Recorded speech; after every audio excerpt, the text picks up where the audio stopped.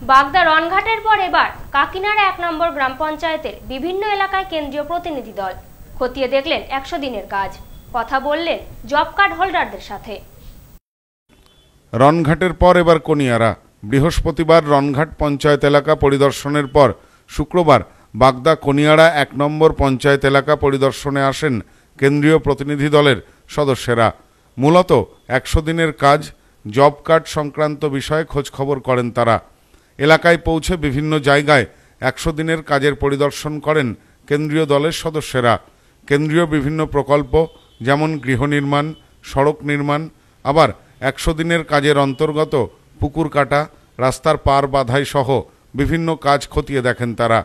ফিতে হাতে নিয়ে বিভিন্ন কাজের মাপজোপও করেন তারা। পঞ্চায়েতের জনপ্রতিনিধিদের সাথে কথা বলার পাশাপাশি স্থানীয়দের সাথেও কথা বলেন কেন্দ্রীয় প্রতিনিধি দলের সদস্যরা। গ্রামের মানুষ সমস্ত সরকারি সুবিধা পাচ্ছেন কিনা সে বিষয়েও খোঁজখবর করেন। এ বিষয়ে স্থানীয় বাসিন্দা আবু তাহের মির্জা বলেন আমাদের সাথে বাড়ি তৈরি সংক্রান্ত বিষয়ে কথা বলেছেন। পাশাপাশি পায়খানা বাথরুম এমনকি উজালা প্রকল্পের গ্যাস সংক্রান্ত বিষয় নিয়েও খোঁজখবর করেছেন কেন্দ্রীয় দলের সদস্যরা। লোকজন এসেছিল এসে ঘরের জন্য বসে বলেছে বলে বলার পরে আমরা সব কমপ্লিট করে নিয়েছি। আমাদের প্রশ্ন করলেও ঘরের বিষয় কত টাকা পেয়েছ কত টাকা ঘর করেছ এই সবগুলো প্রশ্ন করেছি। পায়খানা বাথরুমের কথা বলেছে কারেন্টের কথা বলেছে গ্যাসের কথা বলেছে। সব উত্তর দিলেন? হ্যাঁ উত্তর দিলাম। প্রসঙ্গত বৃহস্পতিবার বাগদার রনঘাট এলাকায় যান কেন্দ্রীয় দলের সদস্যরা। সেখানে কেন্দ্রীয় দলের সদস্যদের ঘিরে ধরে বিক্ষোভ দেখাতে থাকেন স্থানীয় গ্রামবাসীদের একাংশ। তারা দাবি তোলেন একশো দিনের কাজ করে টাকা পাচ্ছেন না তারা। তাদের অভিযোগ শোনার পর নির্দিষ্ট করে পৃথক পৃথক অভিযোগ লিপিবদ্ধ করেন কেন্দ্রীয় প্রতিনিধি দলের সদস্যেরা। যদিও বৃহস্পতিবারের বিষয়টিকে বিজেপির ষড়যন্ত্র বলে অভিযোগ তুলে সরব হয়েছিলেন বাগদা পঞ্চায়েত সমিতির সভাপতি গোপা রায়। এদিন প্রতিনিধি দলের সদস্যরা স্থানীয় চ্যাঙা শ্মশান এলাকায় যান। সেখানে দুটি প্রকল্পের মাধ্যমে মাটি ফেলা হয়েছিল। গত দু হাজার সালে এই প্রকল্পের কাজ শুরু হয়। সে বিষয়টিও খতিয়ে দেখেন তারা।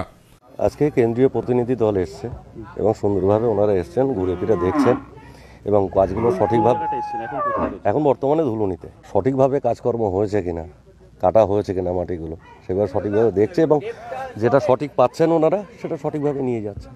এ বিষয়ে বাগদা পঞ্চায়েত সমিতির জনস্বাস্থ্য সঞ্চালক অমূল্য হালদার বলেন মূলত একশো দিনের কাজের বিষয়ে কেন্দ্রীয় প্রতিনিধি দলের সদস্যরা এসেছেন অডিট করবার জন্য।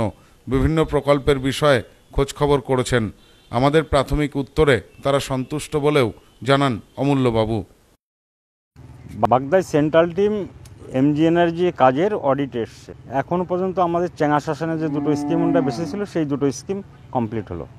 বিষয়ে ওনরা জিজ্ঞেস করেছিল, কাজটা কবে হয়েছিল? কুড়ি সালে যেহেতু কাজটা হয়েছিল এবং ওনারা মেজারমেন্ট করে দেখছে যে কাজটা সঠিক হয়েছে কিনা। ওনার কি স্যাটিসফাইড মনে হলো? হ্যাঁ, মনে হলো না ওনার যা অ্যাটিটিউড সেটা দেখে মনে হলো যে উনি সন্তুষ্ট হয়েছে।